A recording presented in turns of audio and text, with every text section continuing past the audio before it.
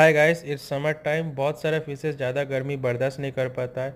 कुछ tips share करता हूँ। ज़्यादा से ज़्यादा पानी चेंज कीजिए फीडिंग कम दीजिए एंड आइस बैग जब पॉसिबल होगा यूज़ कीजिए।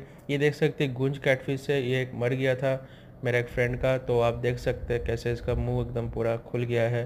ठीक है, कुछ फिशेस को गर्मियाँ एकदम बर्दाश्त नहीं होता है। फॉर एग्जांपल गुंज कैटफिश अगर आपको इसका केयर वीडियो चाहिए तो मुझे कमेंट कीजिए, मैं एक दिन बनाऊँगा।